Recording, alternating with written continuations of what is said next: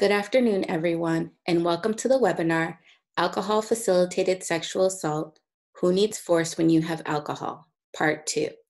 Today's program is presented by AEquitas. My name is Cynthia Hatchell, and I'm the project coordinator at AEquitas, and I will be moderating today's webinar. If you have a question during the presentation, please enter it in the chat box to your right. We will answer questions at the end of the webinar. You are also welcome to contact us directly at any time following today's presentation, and we will send you contact information during our follow-up. AEquitas's mission is to improve the quality of justice in sexual violence, intimate partner violence, stalking, and human trafficking cases by developing, evaluating, and refining prosecution practices that increase victim safety and offender accountability. Next slide. As a national training and technical assistance provider, AEquitas develops resources, conducts trainings, and offers 24 7 consultations for prosecutors and allied professionals. For more information on AEquitas, please visit our website at aequitasresource.org. Next slide. You can also follow AEquitas on Twitter, Facebook, Instagram, and LinkedIn. The link to each is available on our website. Next slide. Today's webinar is supported by the U.S. Department of Justice Office of Violence Against Women. The information presented in this webinar does not necessarily reflect the views of the Office of Violence Against Women. Next slide.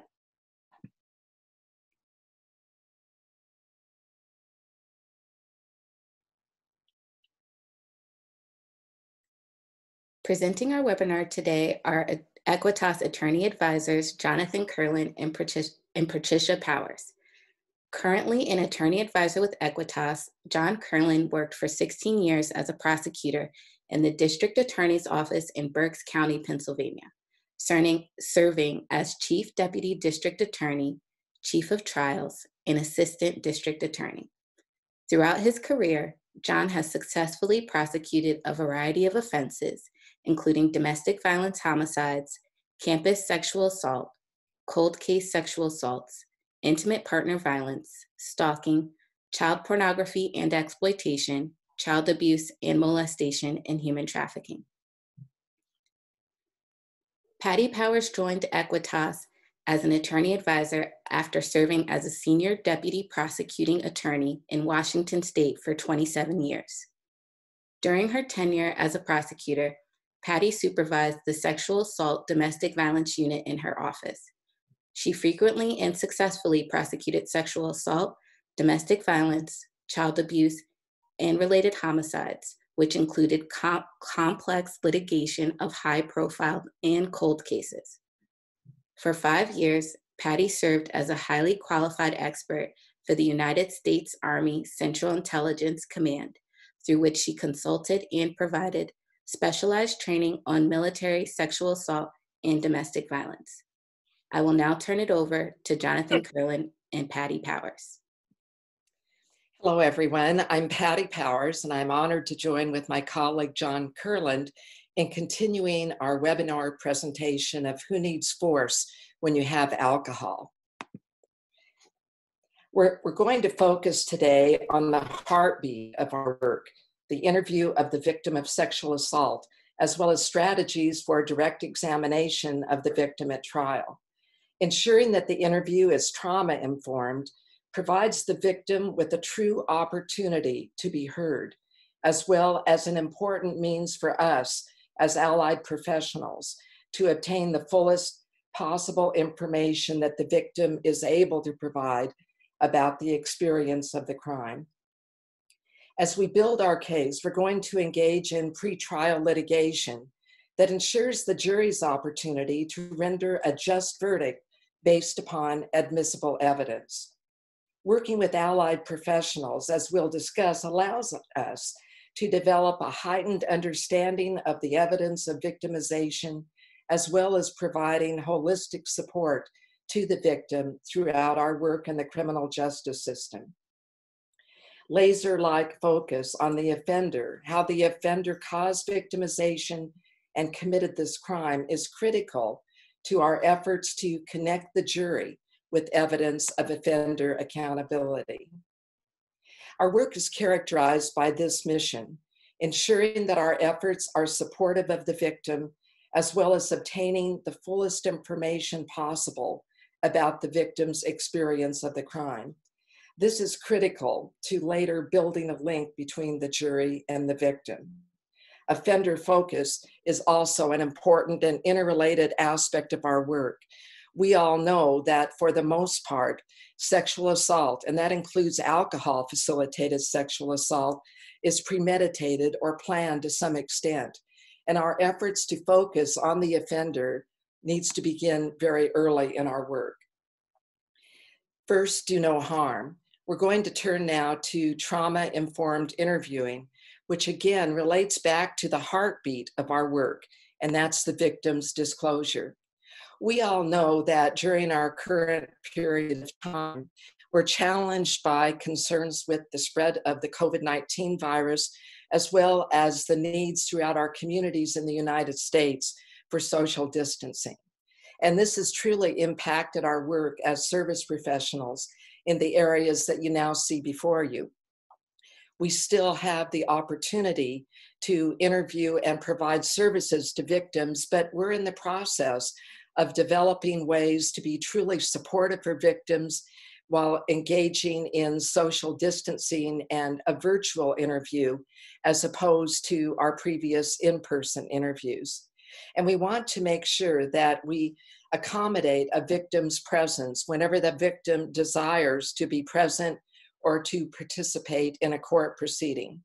Many of our jurisdictions around the country are now involved in Zoom proceedings, uh, and we certainly have the opportunity to help connect a victim in those proceedings as well.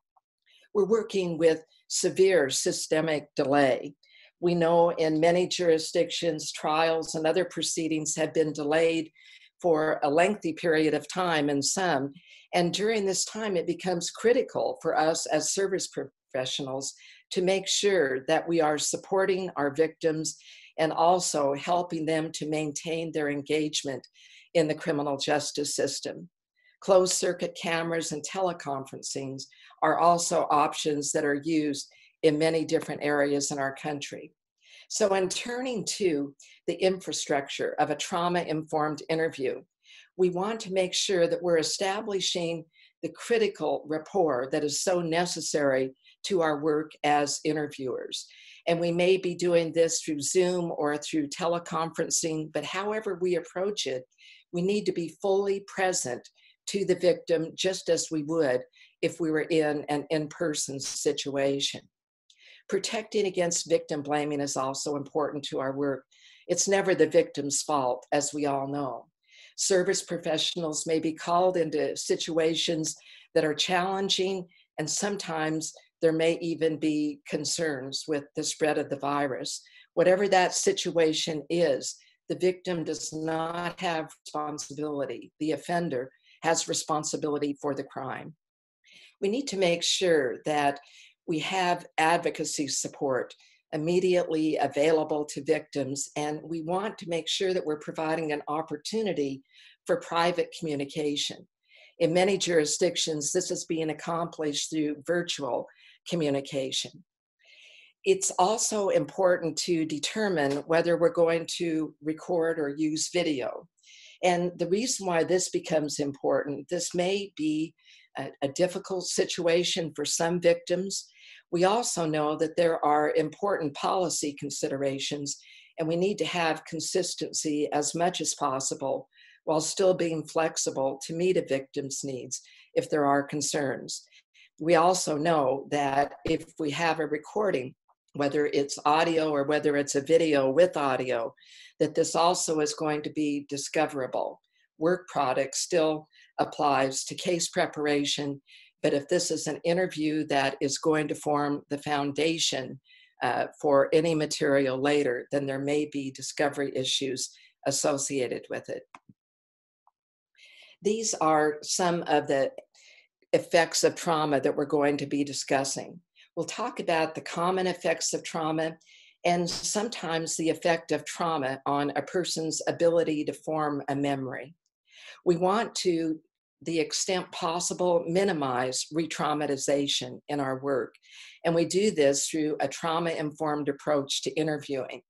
Ultimately, we're seeking to obtain the fullest amount of information that the victim is able to provide because we want to recreate the reality of this crime ultimately for a jury in our cases. And this quotation from Judith Herman is important. Traumatic events are extraordinary, not because they occur rarely, but rather because they overwhelm the ordinary human adaptation to life. Now, let's think about that for a moment.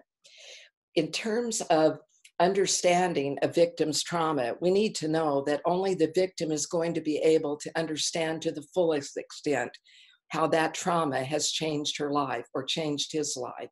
But we need, as service professionals, to be aware that this is literally an overwhelming event that has interrupted a victim's ability to adapt to the circumstances that the victim is now trying to live through. And stress and trauma are also distinguishable. We know that traumatic events are the more extreme versions of stressful events. When stress is taken away, the effects of stress are going to be alleviated. But the effects of events that are truly traumatizing are going to continue well after those events are over. And the memories of that event is going to linger on. And we know that the body may never fully recover from this event. And we know that the psychological impact is also ongoing.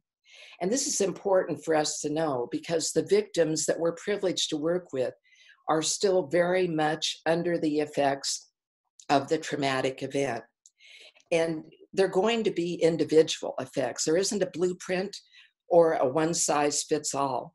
We know that cognition and behavior can also be affected by trauma but we need to, as best as we're able to, recognize some of the common reactions so that we can understand when the victim presents with these reactions that they are impacted by trauma. And that's critical to our work as service professionals.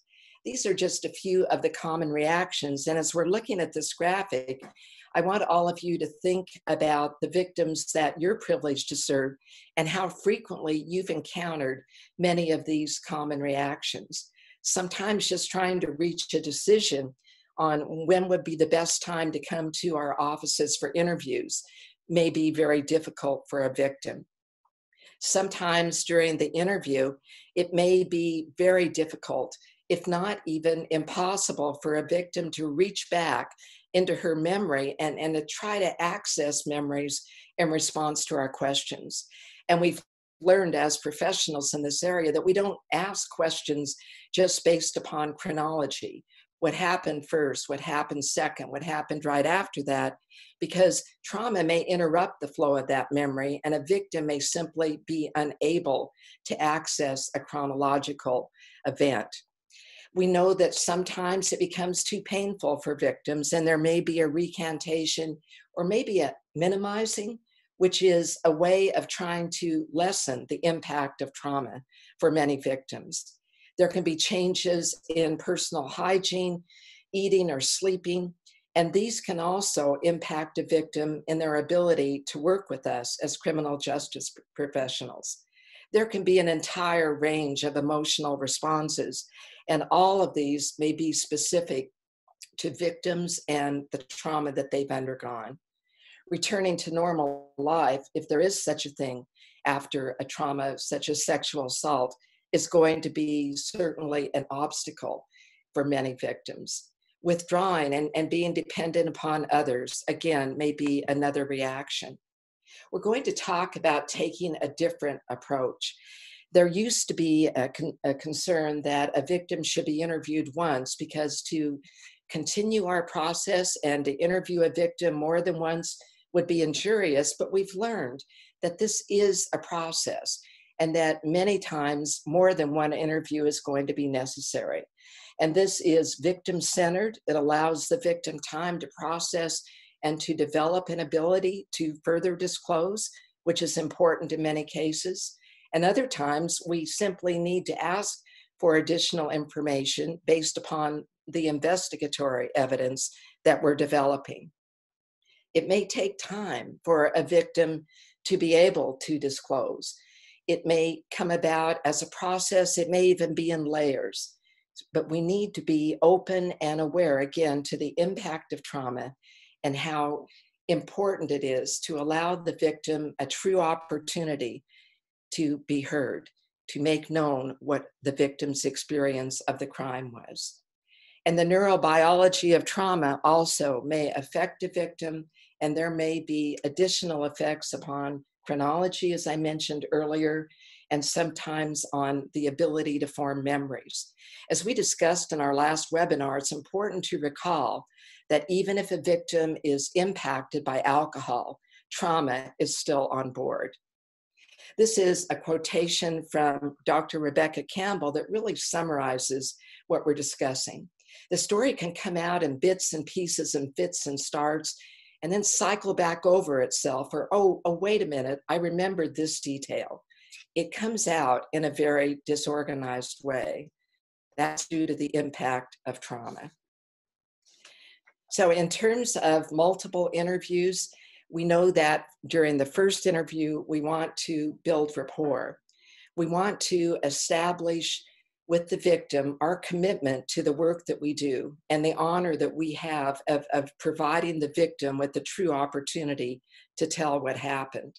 We'll look toward establishing the general information of the case, which will give us a chance to focus on possible evidentiary leads we'll also want to talk about a safety plan because we know unless we can provide safety, and that's both physical and psychological safety to a victim, it may be very difficult for a victim to stay the course. And then we'll plan for follow up. The follow up will come from the foundation that we established in the first interview, and we'll be gathering more detailed information as we proceed. Thank you, Patty. Uh, this is where I'm going to uh, sort of pick up and um, trauma-informed interviewing where Patty has start, uh, left off. And I also want to thank Cynthia for moderating today. And initially, before I jump off, I want to thank all our uh, folks who are attending today, especially those of you who are rejoining us from uh, part one, which we held last week. So picking up on uh, the multiple interview idea that Patty just talked about, and hopefully, right now with the COVID 19 pandemic, uh, there's more opportunity for these middle, uh, multiple interviews without having the uh, the stress and strain on our schedules of day-to-day court obligations. And so this can be an opportunity to really start building these relationships with our victims.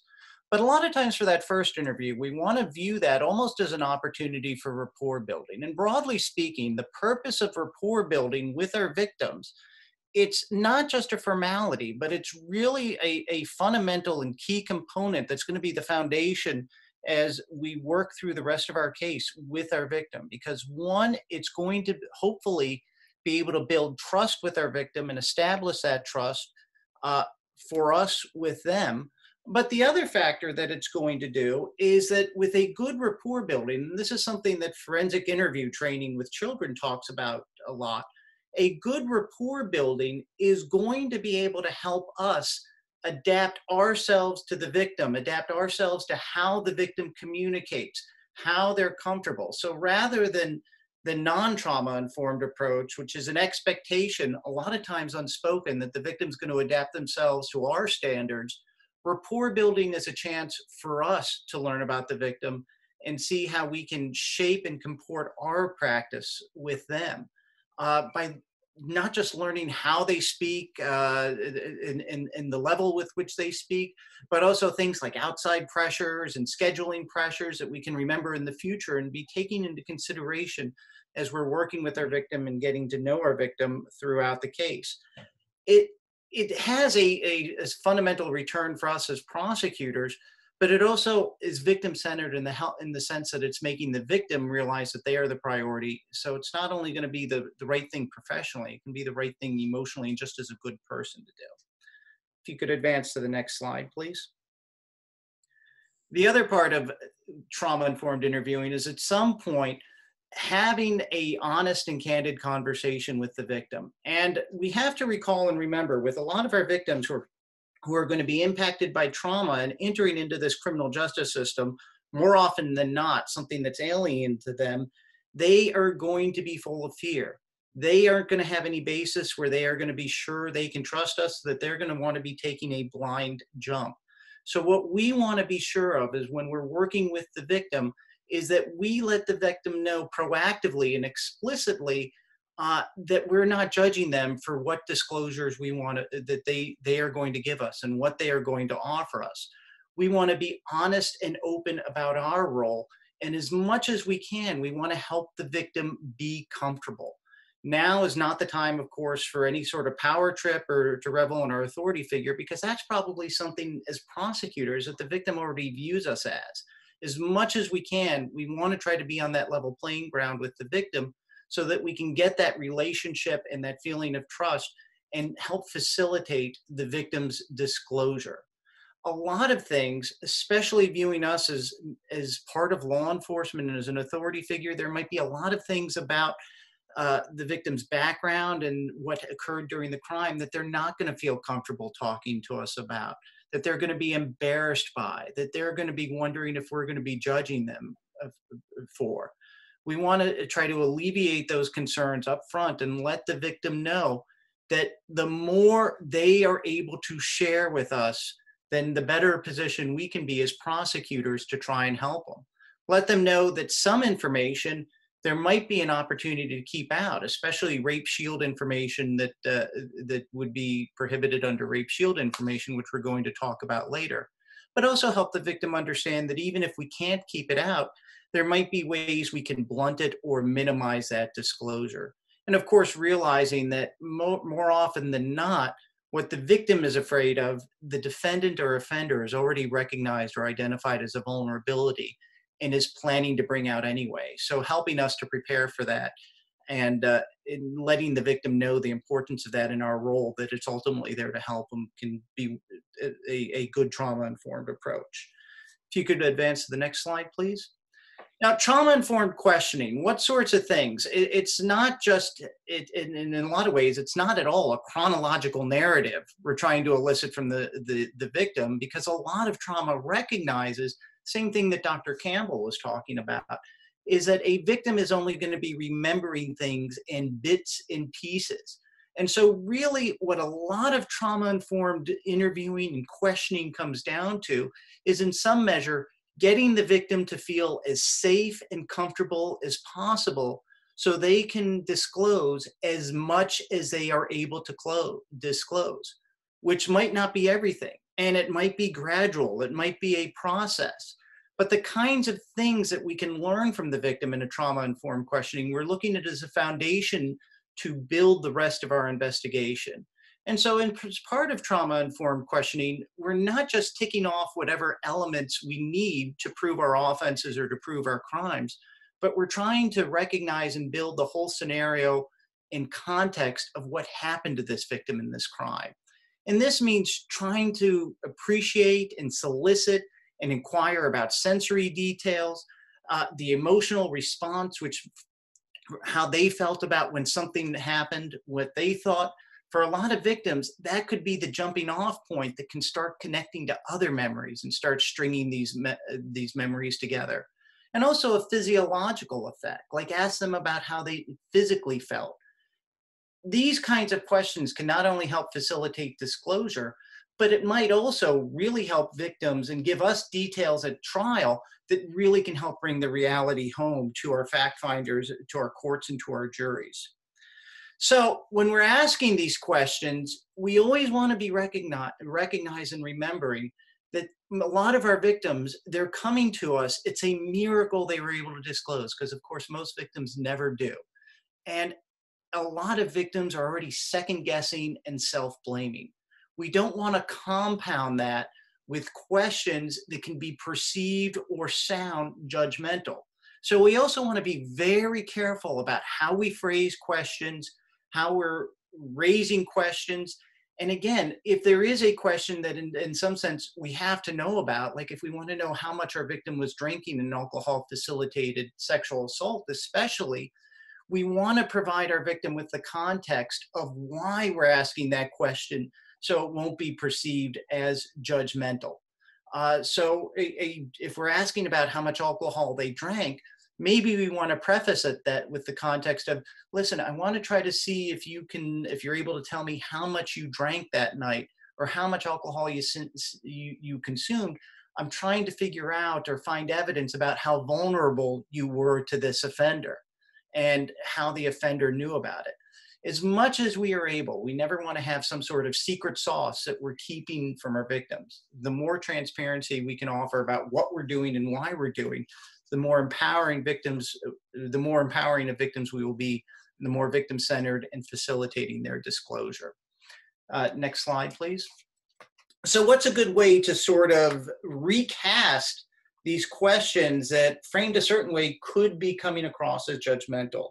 Well, we at AEquitas, we always call this the Patty Powers slide because it's so fantastic. But the magic word we can use to take any sort of question that might seemingly seem adversarial is by using the word able, inserting that with all our questions to the victim, not only when we're interviewing them, but as we're going to talk about later when we're direct examining them.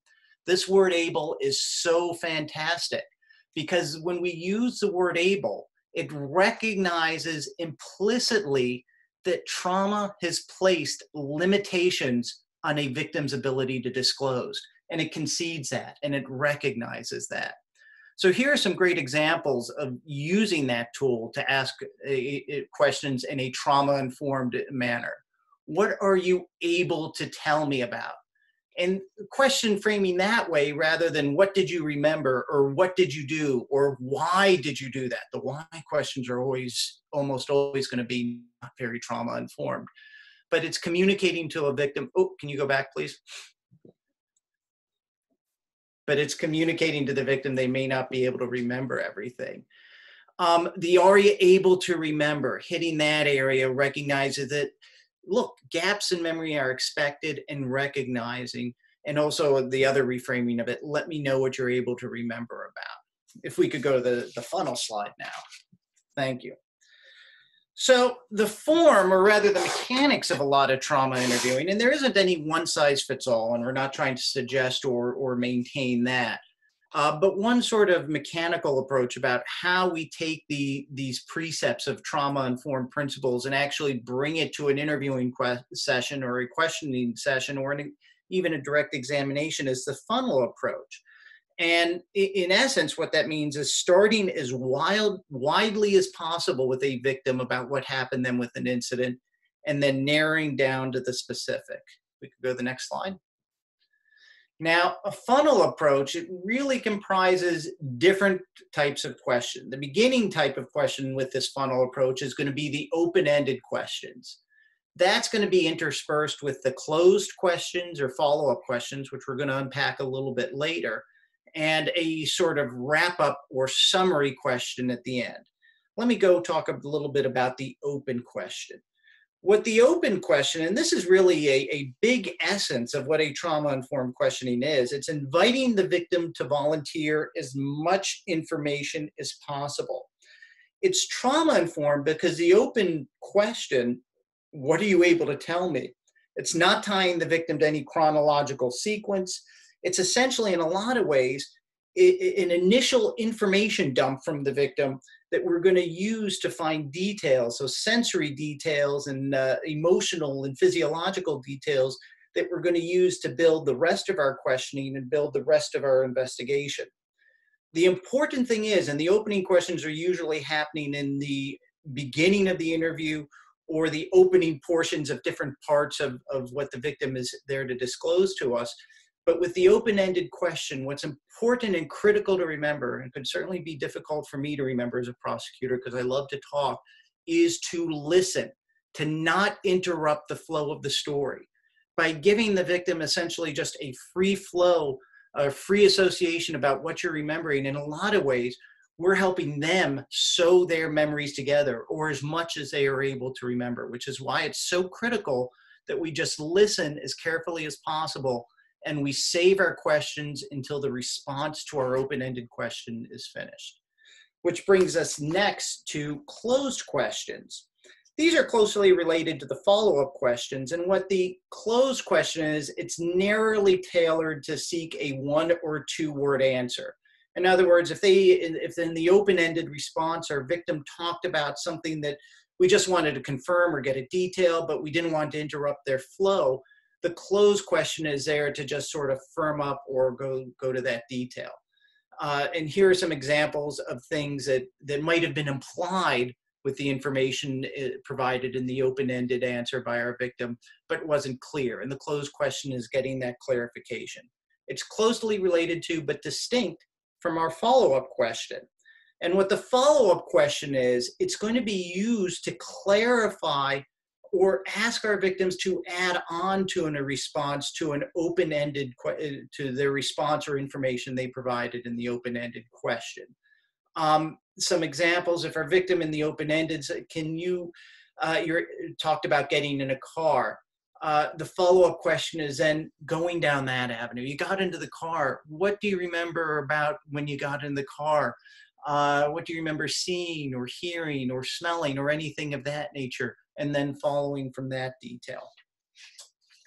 And then this goes to summary questions, which is at the close of the interview or a close at a section of an interview. This is more just a sort of confirming whether or not we get the we understood the victim correctly.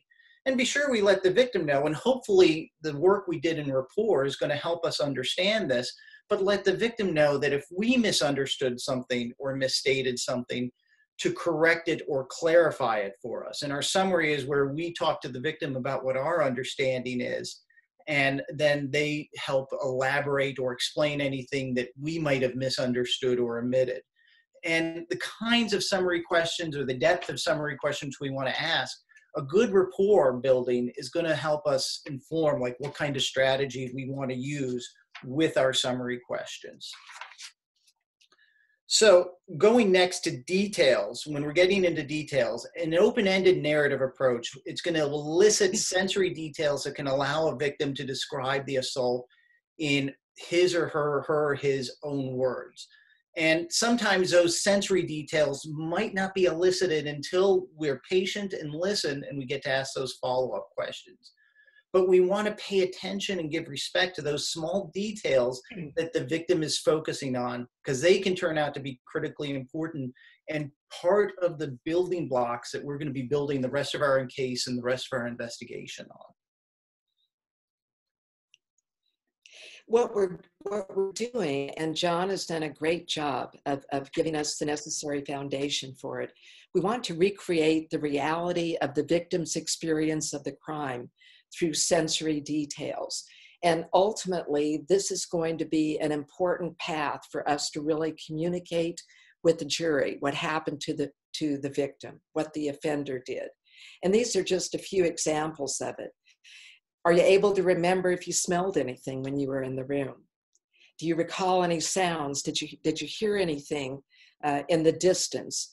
When the offender was on top of you, were you in a position to see his eyes?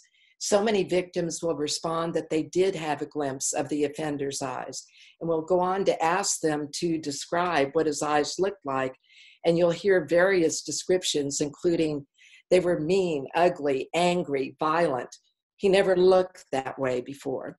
And we all know that for a victim of sexual assault, regardless of the acquaintance with the offender or the relationship with the offender, at the moment of the sexual assault, the offender is the stranger, someone the victim did not know. And we hear this very often from victims of alcohol facilitated sexual assault. So, one of the decisions that prosecutors and other professionals around the country are making is, is whether the interview should be recorded or not recorded. And there are a number of, of advantages and a number of issues involving this particular decision. Obviously, if we have a recording, we're going to have documentation, documentation of the questions that were asked, the responses that were made. If with a video recording, and this is basically what we're talking about in this area, we're also going to be able to see the victim's demeanor when she is providing various aspects of experience. And that can be important as well with our objective of recreating the impact, the true reality of this crime. We can listen, we don't need to be taking notes and, and become distracted from information that the victim is providing. We also know that witnesses are not needed for impeachment, should that become an issue at any point. If the offender is at any time threatening uh, a victim with anything happening, that the victim continues her involvement or provides any other kind of obstacle or barrier to the victim's testimony, this would give us a basis for forfeiture by wrongdoing, and we'd have a record of an interview that we would be asking the courts to admit. There can be some potential technical difficulties and impact on our financial resources. Victim privacy, we need to reach that decision thinking about the trauma that the victim has suffered and the victim's ability to provide information in this kind of a setting with the recording. Once we enact a policy, we need to make sure that the policy is applied consistently but still with some flexibility for a situation where a victim may be unable uh, to provide information in that kind of a setting. So these are all issues that are important to us as prosecutors, but again, a multidisciplinary collaborative approach is surely the best way to go when we're trying to achieve this decision. Patty, can I add one point to that really quickly? Absolutely with COVID 19 or the COVID 19 environment, when we might be doing more remote or teletype interviews, uh, the technology to record those is pretty available. If we're not, if we're making the decision to not record, uh, then we should have a good strategy or rationale that can explain that because the decision not to record might come under attack later from defense attorneys.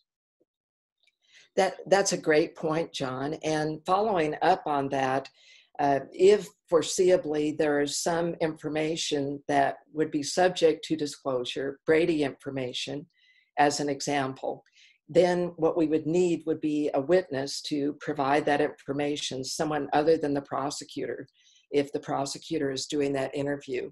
So these really are issues uh, to be determined. And again, a multidisciplinary collaboration would be a great way to go in this regard. We're going to turn next to pretrial litigation. And our goal in this area is to ensure that the jury is able to reach a fair and just verdict for everyone involved, but based upon admissible evidence. There may be motions in limine uh, prohibiting the introduction of certain materials brought by the prosecutor. And the way that we approach this is making sure that the judge is absolutely informed of the nature of the material that we'd like to restrict. So we're going to preview the evidence for the judge in a pretrial setting. If there are any legal issues involved, we're going to brief those issues so the judge and other counsel can be informed as to the applicable law in the area. What we want is the judge to establish the evidence that can and cannot be admitted at trial. We don't want any of our witnesses to be in the position, unless it can be avoided, of, of hearing an objection with the judge excusing the jury and then taking up an argument that we really could have developed uh, more expeditiously if we had done it at pretrial. It's important also, once the judge enters the rulings in a pretrial setting, to make sure that all of our witnesses are informed. We don't want to have a witness witness who's answering a question in good faith to very inadvertently go into an area that's been prohibited by the court. That's a that's a very difficult situation for a witness and also for us as prosecutors. So we want to make sure that everyone is on board and fully understanding any restricted areas of testimony or evidence. And so, what this really requires of us is knowing our case inside and out. We've charged our case, we're confident in our ability to present this case to a jury and establish all of the elements of the crime to ensure offender accountability. So, we need to think it through. And if there are any issues or any areas that the judge should be involved with in terms of rulings, we want to bring those up early in the process. You're seeing now uh, Federal Rules of Evidence 412 Rape Shield, which all states uh, have rape shield laws. And what's important for us to remember about this is that this is the area that so many victims are concerned about. How many times in, in your individual practices, those of you that are joining us today, have victims said something to this effect? Are they, get, are they going to get to know everything that I've ever done in my life? Are they going to know about people that I might have gone out with, any problems that I've had? Victims need to know about our efforts to ensure the fair and just application of Rape Shield.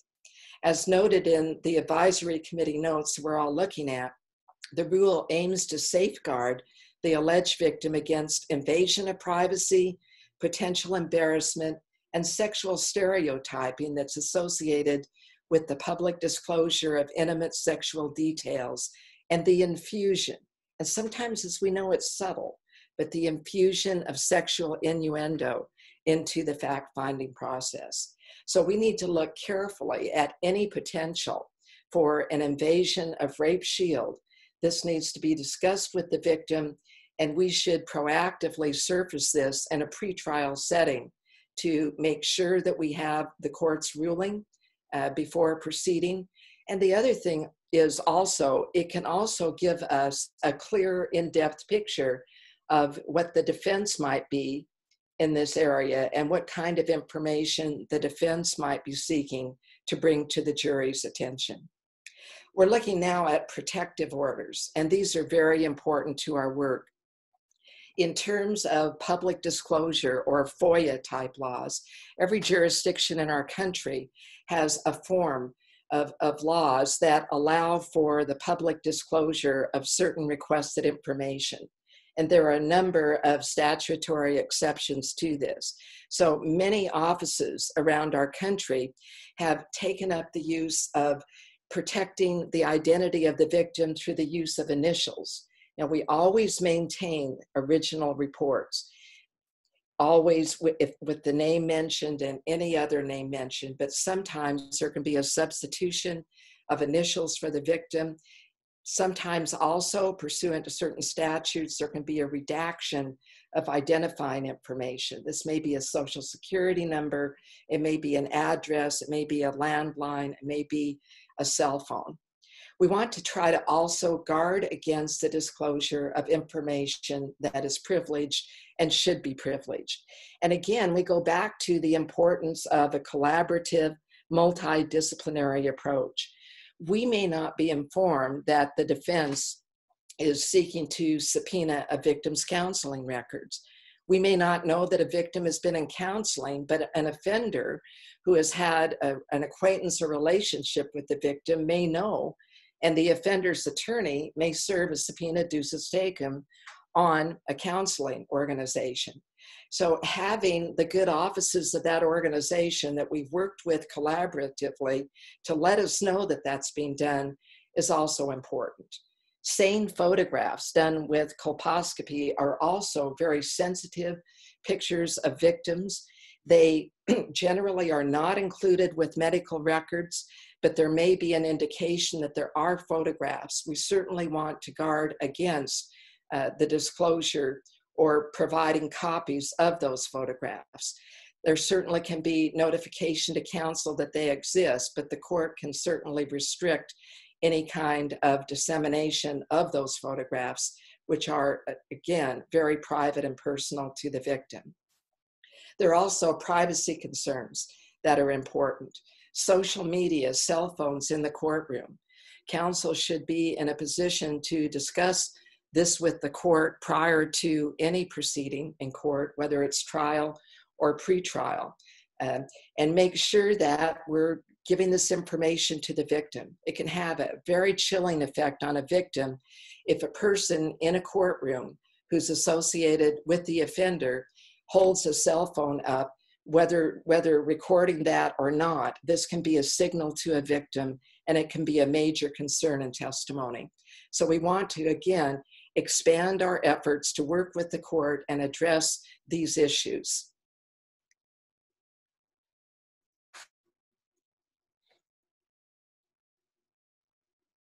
John?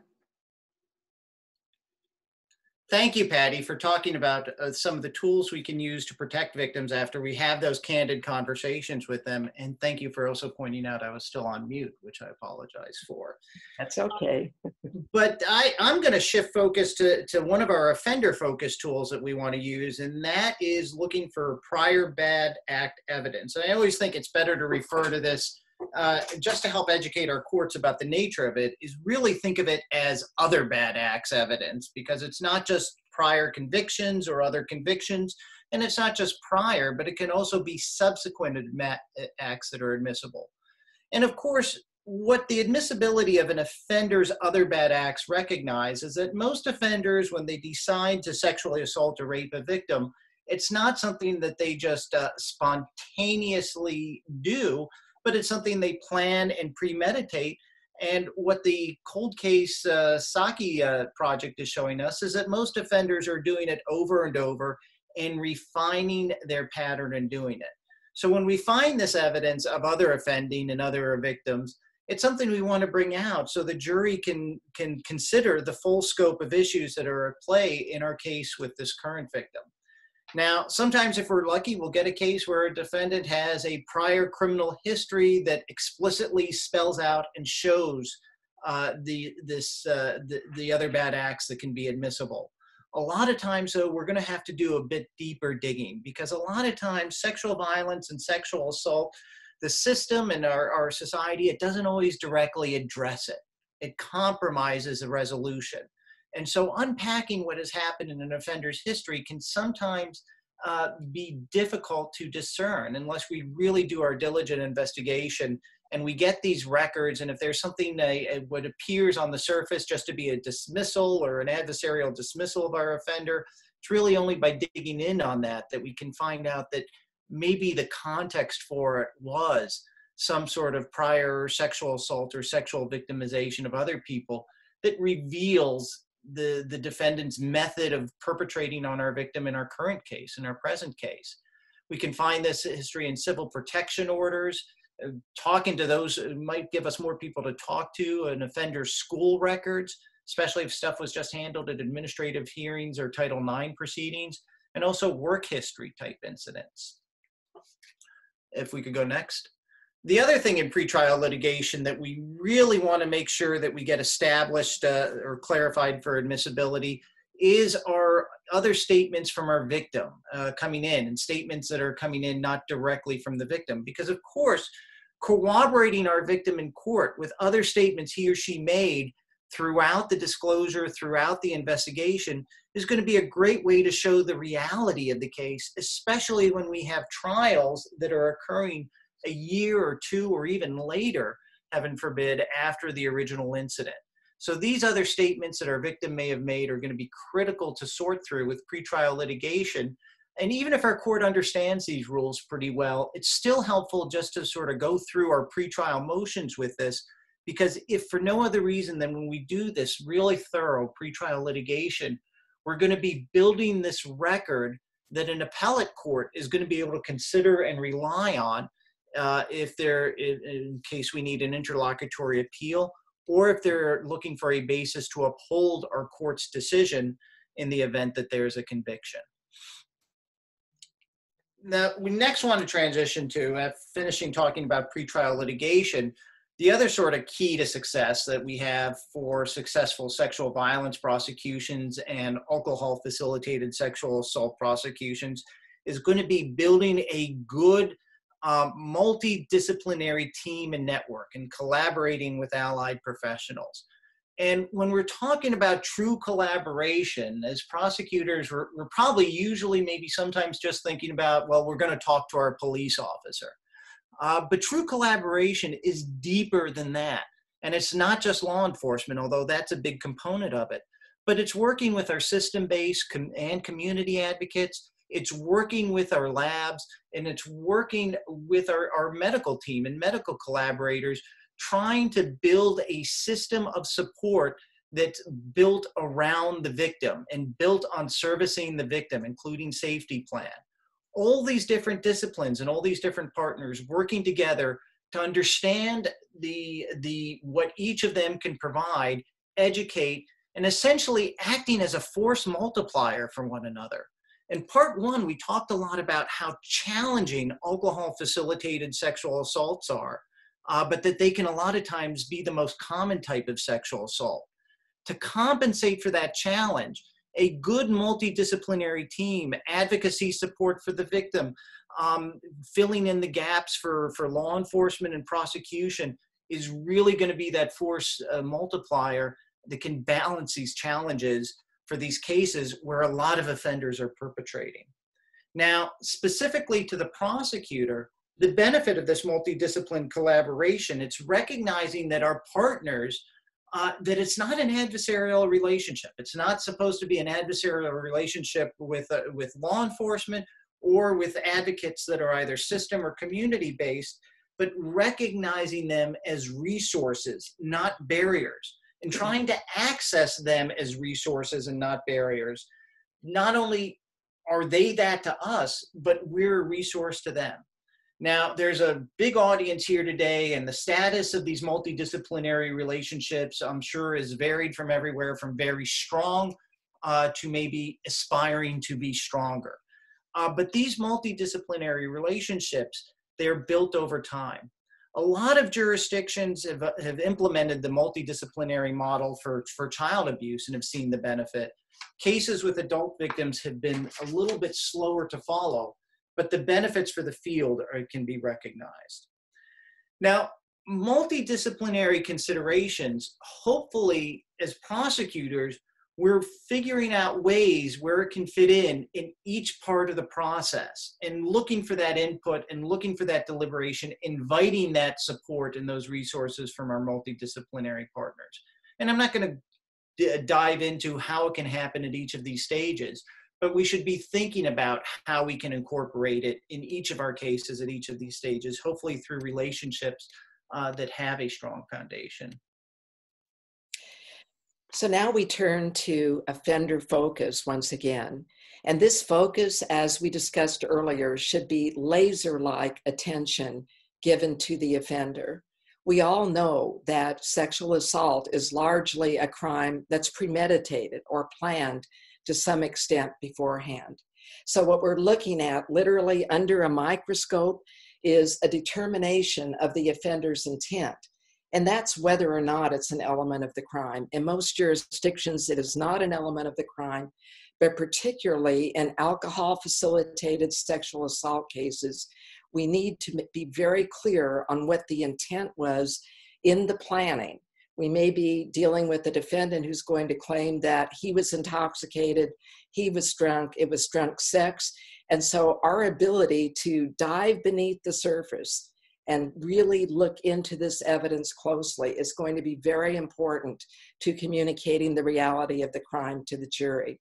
The victim selection process. If ever there were a, a, a formula uh, that's, that's utilized in a very predatory fashion, it's this the victim was accessible.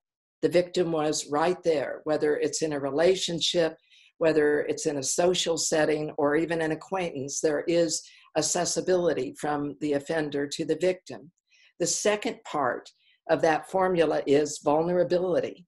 How much more vulnerable can a, a victim be than being intoxicated? We all know that it's a major feature of vulnerability. And the third component of that formula, and this is from the offender's viewpoint or perspective, certainly not ours, it's the offender's consideration of credibility and it goes somewhat like this. Go ahead call the police. They're not going to they're not going to take your call. You were you're drunk. Nobody's going to believe you. They're not going to believe anyone who's drank like you have. And so that formula becomes very important for us to build upon to show the jury the evidence of it. And this can actually be used very effectively in a closing argument. The offender's use of planning setting up the scene, scene, grooming.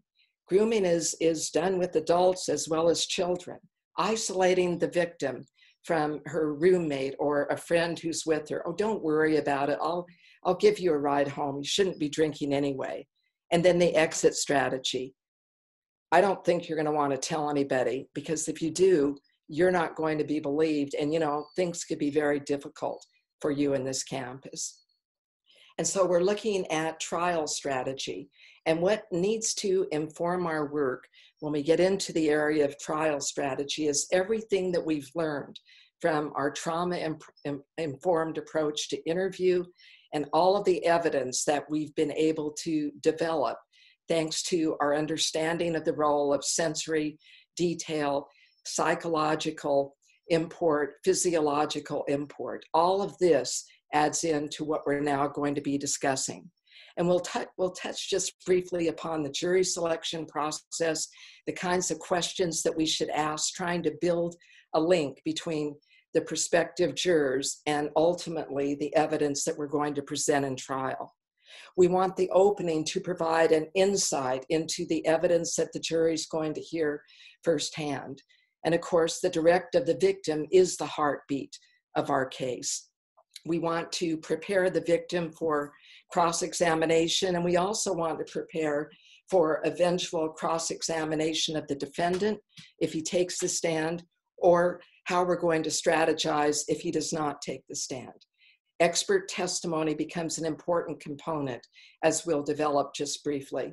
And then finally, closing argument, where we bring to fruition the reality of the crime for the jury. But it all begins with jury selection. And there are many facets to our work in the courtroom in this regard. We want to try to uncover any potential bias, but we also want to ask experiential questions of the of the jurors, of the prospective jurors, to basically lay the foundation for evidence that they're going to hear later, helping to establish an experiential link. A question might be such as this How many of us have had a difficult or traumatic event occur in our lives? We're not going to ask you in this public setting to talk about what happened to you, but we do want to ask Were you able to talk about that right away? Or was there some difficulty associated with it? Were you ever able to talk about it? There are many experiential questions. Uh, that we can also assist you with if, if you have any questions uh, about your specific cases. We want to be leaders in the courtroom. And one of the things that we are focused on in terms of our leadership is educating the jury as to the law that applies to their consideration of the evidence. We want to give them a glimpse into the impact of trauma on the victim and what the victim's responses were. And we can do this through asking experiential questions that will allow the jury later, when they hear the evidence, to connect their own life experience with the victims. We want to really illumine the, nat- the predatory nature of offenders. And we need to keep in mind at all times that these are crimes that are premeditated to some extent and certainly our plan, particularly with alcohol facilitated sexual assault. And we're also going to be developing information about the effects of alcohol, never forgetting for a moment that even though there is alcohol involved, trauma is still on board. So, trying to uncover biases, we're simply trying to gain an understanding of a, of a juror if they're going to be able to relate to important aspects of our case. And there are a number of questions to ask in this area, but what we also do, again, is talk it up with our law enforcement professional who should also be involved in jury selection whenever possible, and perhaps even discuss some ideas with advocates who are assigned to the case. It's a team effort in all respects, and what we're trying to determine is jurors that can be fair and impartial in this case. We want to make sure, especially in alcohol facilitated sexual assault, that we can help jurors to develop an understanding of how alcohol may have been utilized by an offender in committing this crime and how that may have impacted the victim's ability to consent. So, as leaders in the courtroom, we want to lift jurors up We want to be who we are, be the committed and dedicated professionals who we are. And we also want to share with jurors through the kind of leadership that we bring to these cases that we're all in this together. And for that reason, it's important to try to use these pronouns whenever possible, we and us, to really help develop that theme of leadership. We want the jurors to look to us for that kind of leadership in the trial. And we're going to guide their expectations, and, and actually, we're going to be turning some tough issues or challenges into gold, bringing the offender focus back into the picture why was the victim unable to immediately report the assault? Because of the offender's conduct. If there was some kind of initial consent, we need to be very clear about the moment when the victim utilized her right to self determination and said no. And we will have asked the question about the right to make decisions and about the right to change our minds early on in the, the jury selection process the offender may not have used violence. And as we all know, the theme of, of these webinars, you don't need force when there is alcohol. And so we need to keep alcohol and the effects of alcohol clearly in, in the forefront with the jury. Thank you, Patty. Uh, so what I'm going to be turning on now for my little section is talking a little bit about opening statements and closing arguments, and then I'm going to kick off a discussion about witness examination. If I could go to the next slide, please. So uh, what we often suggest, and we want to recognize that there is no universal formula for, uh, for the successful opening uh, statement and or closing argument or closing rebuttal argument, uh, but as general sort of, uh, of principles, what we want to suggest is that when building cases and and deciding what your trial strategy is going to be is craft your closing argument first and build it around that. But then be open to the development of new evidence at trial. Because as you prepare for the case, in a lot of ways, how the pieces fit together, all these different parts of, of, of evidence that you have, and from here and there, the closing argument, a lot of times, is going to be able to make itself and craft itself. What we want to use our opening statement for is to reinforce this offender focused theme and preempt defense arguments. I, I, think sometimes probably the least impactful opening statement I, I've seen prosecutors make is where the case starts off apologizing for the victim or, or like we're, we're ashamed of the victim.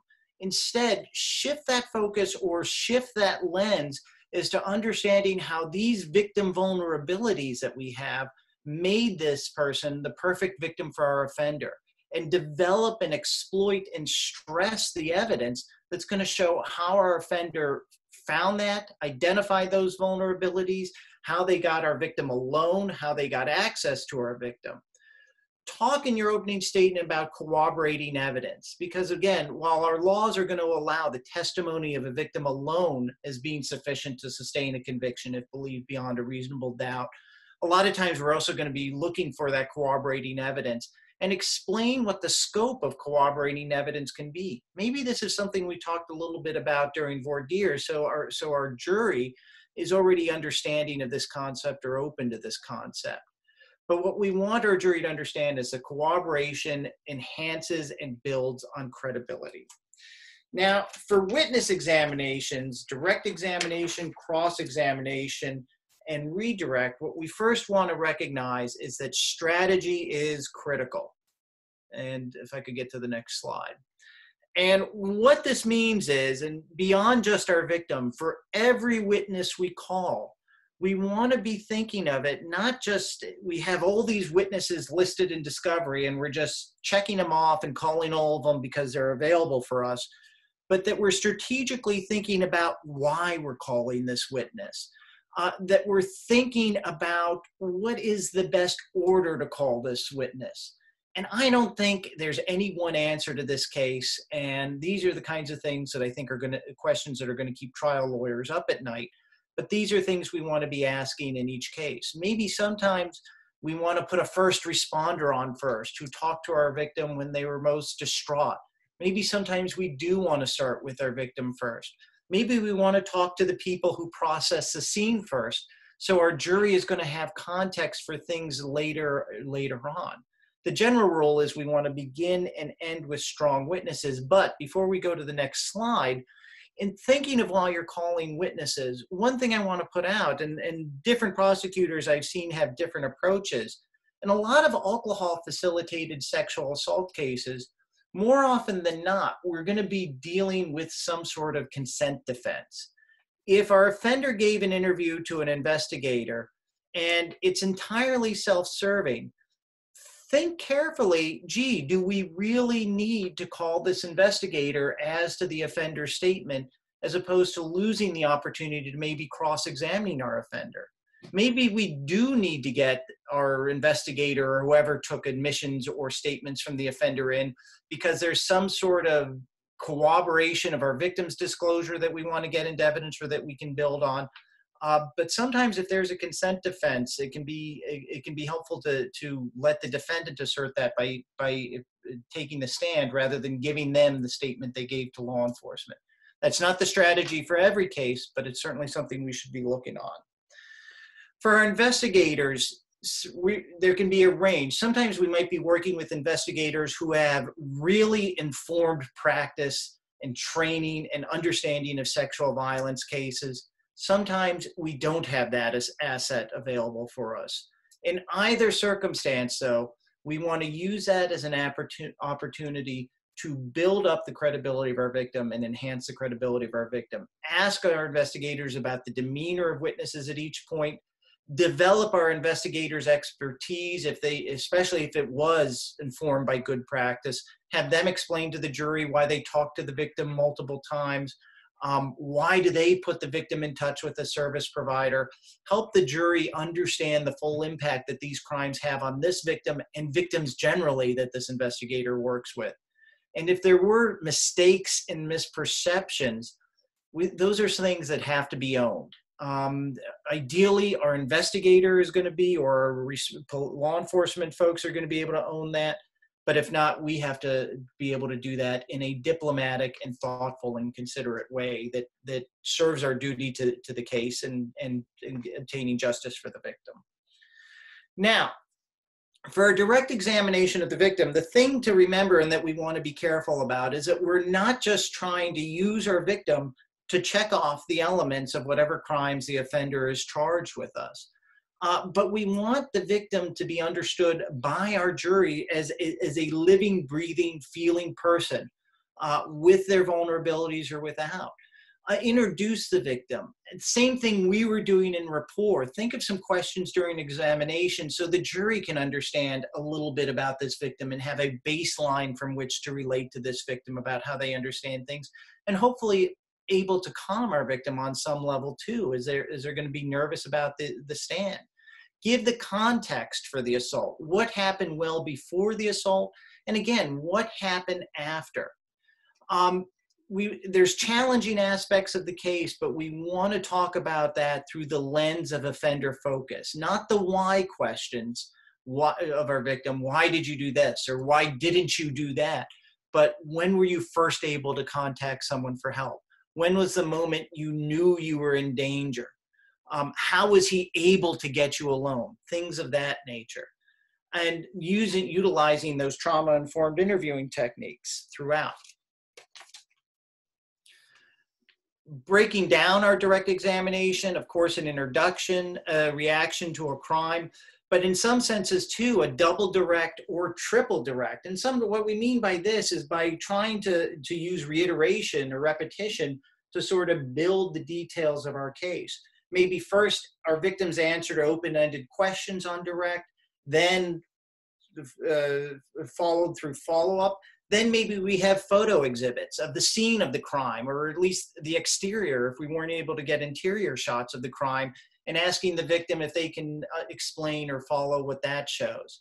Following the trauma, and more, most importantly, too, the, the harmful or the challenges in victim behavior, we want to try to ask those questions up front during direct examination and make those questions a bit blunted for cross examination. Segue next to cross examination, we want to identify the possible topics And how we can do that a lot of times we're going to be able to understand these issues. Experience can be a great uh, benefactor in doing this, but even if we don't have experience to do it, we want to be listening to the defense attorney uh, while the case is pending, while all this pretrial litigation is going on. All too often, defense attorneys will be willing to pitch to us as prosecutors all the things that are wrong with our case in hopes of negotiating a resolution favorable to the offender or their client. Those are great opportunities for us to sort of anticipate or pick out uh, what the defense is planning on emphasizing or building on at trial, and then preparing to counter that or at least blunt that. And I hand it over to Patty now. Thank you, John. So turning to offender testimony, this is the ultimate in offender focus, and we've discussed that throughout this presentation. We know that offenders want to talk. They want to tell their side of the story. They also are very focused on social myths and misperceptions. They're part of society as well, and they pretty much know what they are. And they basically rely on those social myths and misperceptions in terms of what they want to say in their testimony. We also know that they may have committed crimes before that are similar to the crime that's now before the jury. As another reference for Evidence Rule 404B, other crimes and other acts, CODIS hits. CODIS hits may give us additional information about other victims that have been victimized by this particular offender. And we're seeing a relatively significant incidence of serial and repeat offenders thanks to the work that's being done in the Sexual Assault Kit Initiative. So these are some strategies to consider for cross examination. If there are areas of agreement, specifically peripheral details, the time where the event took place at, it's good to get agreement on as many aspects of this as possible. But what we also want to develop, as John mentioned, is the offender's awareness of intoxication, which means vulnerability. And remember, we still have accessibility, vulnerability, and how the offender wants us and the jury to view credibility. And so we want to weave this through so we can draw this to its fruition in our closing argument. When it's appropriate, we can follow the offender's narrative, but when we prepare for cross examination, we're not necessarily going to follow the order of questions that the defense attorney is going to. We like to start with a strong point and then continue building. And within that building process, if there is a narrative that is important for us to continue building upon or, or drawing reference to, with the offender, we can certainly do that. So we're going to turn now to expert testimony. And the, the, federal rules of evidence, all of the states have basically the same, if not a very similar rule. We're talking about witnesses who are qualified by knowledge, skill, experience, training, or education. And this lays out the four different areas of importance on expert testimony. And we all need to be very in touch with our statutes for expert testimony, particularly in alcohol facilitated rape cases. We might have access to experts who are going to be important uh, to explain either toxicology or victim responses uh, to trauma or victim behavior. And as I mentioned, toxicology is certainly an area. We want to, if we have evidence of a blood alcohol content of the victim or the offender, this may cause us to focus on the testimony of a professional who has that training. A toxicologist certainly could be of assistance, or maybe even a law enforcement professional who's been specifically trained in that area. We might want to draw forward information for the jury about the synergistic effects of alcohol and drugs. There's a lot of information in this area that we can obtain from a toxicologist and sometimes even a pharmacologist who can talk about this. A SANE may be trained also in seeing some of these impact points if a victim was able to present for medical care within a, a relatively short period of time. the disparate effects of alcohol on, on men versus women, the difference in size, the difference in the consumption of alcohol, the burn off rate that might be involved. All of these can result in a disparate effect, and that's also information that we want to bring forward to the jury. Blackout versus pass out. The claim of blackout is a, another way of surfacing a consent defense the argument is the victim may not remember it but she actually but she actually consented expert testimony in this area can be important as well as the victim's testimony about passing out feeling everything going dark and then waking up at another point. This is not a blackout but it's clearly from the victim's testimony. As foundation for the expert's testimony it is a pass out so one of the experts we want to zero in on, and we we spent some time in part one, and Patty just spent some additional time talking about toxicologists. But the other kind of expert witness we want to discuss are experts that can help explain, and probably we should say a better way to say than explain is educate about victim behavior. Um, so I'm going to be talking a little bit about victim behavior experts and using them at trial to help a jury understand the variety of victim behaviors and victim responses to sexual violence. Uh, now, these victim behavior experts are not intended to be utilized as truth detectors or there to give an opinion as to whether this victim was or was not raped, um, or whether this uh, offender does or doesn't meet the profile of a sexual predator. But what a good victim behavior expert is going to do is just educate a jury uh, and about their expectations that there's a certain kind of response to sexual violence. A good victim behavior expert is going to be able to help a jury understand that there isn't any specific response. A victim of sexual violence might have a full disclosure or a partial disclosure or a delayed disclosure.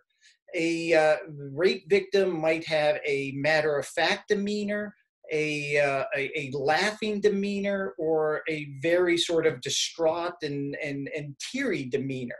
These things in of themselves aren't going to be able to help us determine whether a victim was or was not sexual assaulted. And why, why this is so critical for us as the prosecution because our jury does have expectations based on rape myths about how victims should respond. And a victim behavior expert is hopefully going to help a jury understand that that's just that these these are myths and that's not going to help the answer the question of what the evidence proves or has failed to prove. Now the practical analysis for victim behavior experts is that we need to identify behaviors that need explaining. And this is where this multidisciplinary investigation this good collaboration network can help us understand these issues. Because um, certainly by working with victim advocates and working with community advocates as well as our own experience and law investigators, we can identify maybe these behaviors in victims that seem counterintuitive to us, we can get a better understanding and better context for. And we can start thinking about strategies, including witnesses, that might be used or helpful to educate the fact finder. Now, the kind of expert, victim behavior expert, we know don't necessarily need it for every sexual assault case because sometimes, um, maybe if there is explicit threats, a delayed disclosure is going to be self-explanatory, and we're not going to need a victim behavior expert uh, to explain that. But when we are considering experts, just as we do with any other kind of experts, we want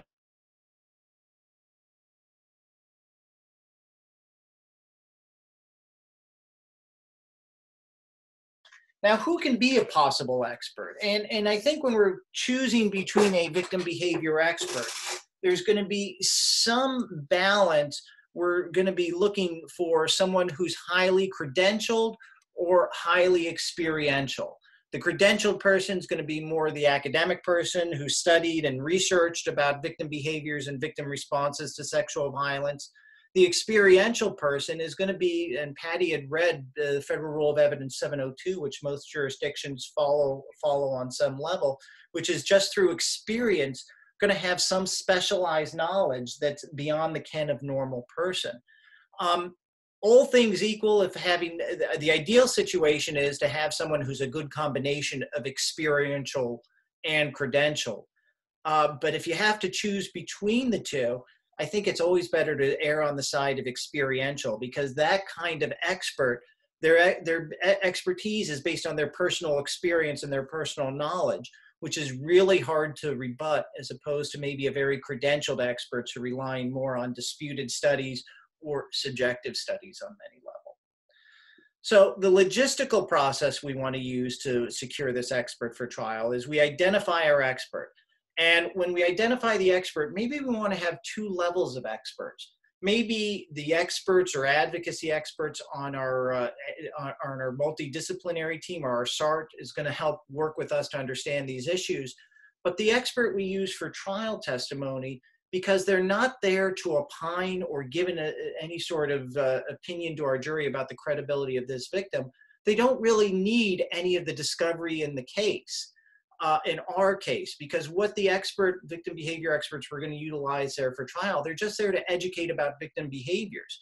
So the only thing they have to know is rather than anything about the specifics of our case or our victim, just what victim behaviors are, are going to be might be under consideration or a jury might need to be ed- educated about. However, even if we're not giving discovery to our victim behavior expert we're going for trial, we do need to meet our obligations to the defense. And that goes, of course, with the pretrial litigation Patty and I were talking about earlier. But it means not playing games, getting a copy of our expert's CV. If we're using an experiential expert who maybe never has developed a CV, we want to work with them to do that and we also want to reduce what they're going to testify about in an expert report. Now, if they haven't reviewed, if our victim behavior expert hasn't reviewed any discovery in our case, this is expert report is just going to be about the sort of victim behavior challenges we're asking them to address. So if we could go to the next slide. Now the legal basis, and I know not everyone at the seminar is from, from uh, at this uh, webinar is from New York State, but People v. Taylor is a good case. Um, and of course, even uh, if you're not in New York, it's going to give you good head notes you can find maybe to develop arguments and forms and, and motions in your own jurisdiction. And you should contact AEquitas too if you're not used to using victim behavior experts because we can assist you with sample motions, transcripts, things of that nature. But this pretty much lays out the basis about why we're going to be arguing about the relevance of a victim behavior expert at trial and articulates it really well and maybe gives us some kind of language we want to adapt or apply or use to persuade our own courts. And the relevance, of course, is, is and I'm not going to reread the quote that you have on the screen because you can all read it yourselves, of course, is the relevance of a victim behavior expert is that victim behavior in responses to sexual violence, they aren't in the normal understanding of our average juror. Just like experts are going to be used in drug trafficking or constructive delivery cases, we're going to need experts to explain things in sexual violence cases about victim behaviors and victim responses that aren't in the normal understanding of jurors. Uh, and so, of course, the that relevance or that reality of a misconception by folks who make up our juries about how victims respond to sexual violence or what is or isn't a normal behavior uh, recognizes about why these experts are going to be needed in case in cases. And here's a military justice case, U, US v. Pagal, um, who again might be able to give you some good research leads for your own jurisdiction, but you should also reach out to us. If I could go to the next slide, please. Now, I've referenced, of course, using a blind expert versus a general expert. Blind experts, in a lot of ways, for testifying at trial are going to be preferred because the sole purpose is to educate the jury this blind victim behavior expert's not met with our particular victim. They're not diagnosing the, uh, their victim. They're staying in their lane. They're avoiding discussion of diagnoses and syndrome, and they know very little about the facts of the case. They're just there to talk about whatever challenges are involved. The victim behavior expert isn't going to be commenting on the credibility of the victim or making a finding that the victim was raped, and they're not going to be diagnosing the victim. They're just going to be there to explain dynamics uh, such as delay, delayed disclosure and other phenomena. Now, if we aren't utilizing an expert or we can't use an expert, the other strategies we might want to use to explain victim behavior and victim responses is sometimes our victims can articulate that experience and the reasons for their responses. maybe why there is a piecemeal disclosure or partial disclosure, and that can really help corroborate their testimony, talking about how scared or frightened they were. Sometimes our detectives or medical examiners are going to be able to talk about that because they've worked with lots of victims and uh, things that maybe our defense attorney or friends on the defense bar are arguing are unusual. Our, our investigators and medical professionals, healthcare professionals won't find that unusual or shocking and that experience can be put in context with the jury and also using voir dire too as a tool maybe in our panel members own experiences to help our eventual jury to understand the range of responses and the reality of of a lot of challenges that are all too regular in our regular in our cases and it's also important to note uh, even if an expert is going to testify the victim's testimony still remains important. We're going to ask questions of the victim that basically lays the foundation for the questions that we're going to ask the expert. The jury is going to be tracking information that perhaps the victim was unable to provide for our later discussion with an expert on what specific reasons may impact a victim. We're talking very general as John noted, may impact a victim in an ability to recount certain information. So there's still a connection. And as we all know, trials are a very dynamic process. So going forward, we want to ensure that the interviews that we're conducting, that actually we're privileged to conduct for victims, are done in a trauma informed way. We want to use all of our available tools in recreating the reality of that crime by asking the sensory questions, by proceeding to answer, ask questions about psychological impact, and sometimes even physiological responses. This really helps us convey to the jury the victim's experience of the crime that the offender caused engaging in pretrial litigation, as John and I have discussed, is important because what it does, it allows jurors an opportunity to render a fair and just verdict based upon the evidence that should be considered. It also is a means of protecting victims from exposure to invasion of privacy that is basically irrelevant in any given case. It, it answers victims' questions about how much are they going to be able to ask me? We're able to convey to a victim what the court's rulings are in that regard. And of course, our best efforts to be responsive to any issues that occur during the trial. As John did a great job of explaining, it's our collaboration with allied professionals that really enhances the work that we are privileged to do for victims we obtain a deeper understanding of evidence. We're able to provide more holistic and effective support to victims as well. But keeping our attention on the offenders from the very beginning, when that case enters our office, we need to look at what the offender's role was, particularly in these cases of alcohol facilitated rape. How was the offender able to commit this crime? What kind of planning went into it? What is the evidence of premeditation? Who had control over the situation? Who made all of the decisions in the case? It's this kind of focus that puts us in the most powerful of all positions when we're arguing in our closing argument why the offender should be accountable for the crime that we have provided compelling evidence of. So we're at the point where John and I both have an opportunity to thank you. I want to thank Cynthia for her great assistance throughout the entirety of this webinar. We really appreciate it, Cynthia. And want to thank all of you uh, who have been able to participate today. We'd be honored at AEquitas if you'd be in, in touch with John or I or any of our colleagues. We'd be delighted to support your efforts. We're proud of the work that you do and are hopeful that the information we provided you today that you'll be able to utilize this and even enhance your efforts in working for victims of sexual assault. Patty, if I can just add to, to what you, there's Patty's contact information for all the hard uh, questions you have. My contact information is here for all of your easy questions or easier questions. No, seriously, you can contact either one of us, and either of us would be delighted to help you. Um, there, this uh, part one of this is already available on our website and can be viewed as a recording. I'm sure part two is going to be available in the near future. Um, I don't anticipate any technical difficulties happening with that getting online.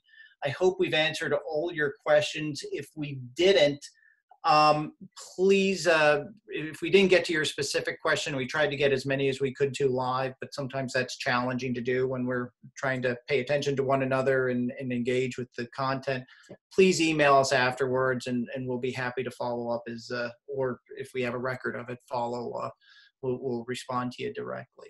But thank you everybody uh, for uh, for attending today's webinar. For folks who were part one and part two, special appreciation to to all of you, um, and thank you all for your, the work you do, which in easier times is uh, stressful enough, and in these hard times, I know can also be uh, be exponentially challenging. So if you don't get thanked enough please let uh, know now that uh, you you don't go unappreciated, and we're very grateful for the work you do for your communities and for victims. And uh, thank you, Patty and Cynthia, for uh, for doing this. Thank you all. Stay safe, everyone.